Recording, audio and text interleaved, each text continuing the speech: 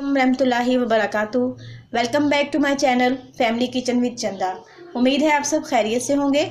आज हम बनाने जा रहे हैं वो रेसिपी जो मुख्तलिफ़ चीज़ों में डलकर आपकी मज़ीद रेसिपीज़ को बेहतर बनाती है।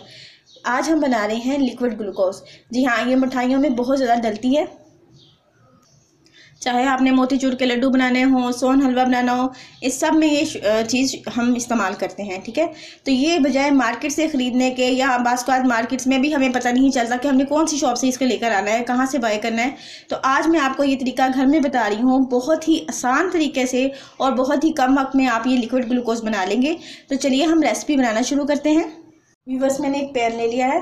लिक्विड ग्लूकोज बनाने के लिए मैं एक कप चीनी ले रही हूँ। आप किसी भी कप से मेज़रमेंट कर सकते हैं। बिस्मिल्लाहिर्रहमानिर्रहीम इसी कप से मैं तकरीबन हाफ़ से थोड़ा ज़्यादा पानी लूँगी।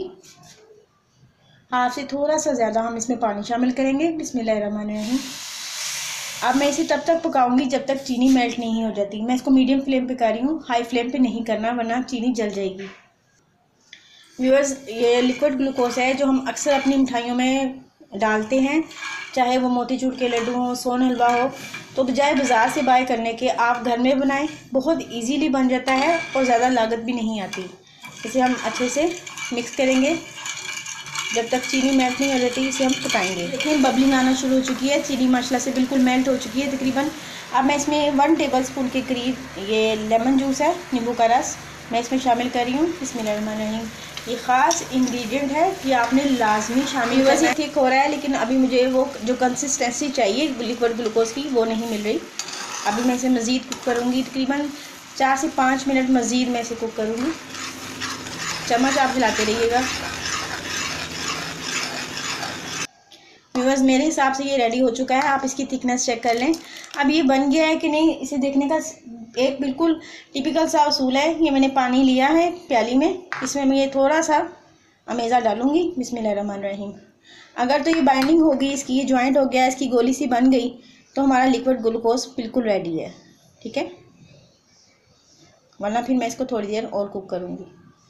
ये देखिए। देखिए, माशाल्लाह से ये देखिए, आपको नज़र आ रहा है? ये गोली सी बन गई है हमारी तो ये बिल्कुल रेडी है। ठीक है? अब मैं इसे उतार लूँगी फ़ौरन, वरना इसका कुकिंग का प्रोसीजर जारी रहेगा। बस मैं इसे शीशे की एक छोटे से बाउल में निकाल लूँगी। रहीम देखिए, माशाल्लाह से कितना खूबसूरत गोल्डन कलर आ चुका है। बिल्कुल ट्रांसपेरेंट आपको नज़र आ रहा होगा। इसे हम एक घंटे के लिए ऐसे ही छोड़ देंगे। फिर मैं आपको इसकी कंसिस्टेंसी जो सही आपको आज नज़र आएगी। एक घंटे बाद आपको का सही पता चल जाएगा। बस तकरीबन एक घंटा हो गया इसे रूम टेम्परेचर पे रखे, ये देखें, इसी कंसिस्टेंसी कितनी थिक हो गई है। ये वही लिक्विड ग्लूकोज है जो आप मार्केट से देखते हैं, ख़रीदते हैं, माशाल्लाह से ये देखें। ये बिल्कुल वैसी ही कंसिस्टेंसी है।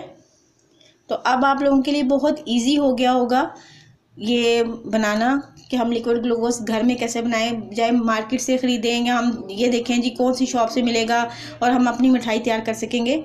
अगर व्यूवर्स आपको मेरी रेसिपी अच्छी लगी हो तो प्लीज़ मुझे कमेंट सेक्शन में इसके बारे में ज़रूर बताइएगा। और इस मेरे नए देखने वाले मेरे चैनल को ज़रूर सब्सक्राइब करें और मेरी वीडियो को लाइक और शेयर ज़रूर कीजिएगा। मिलते हैं नेक्स्ट वीडियो तक। फ़ी मानिल्ला।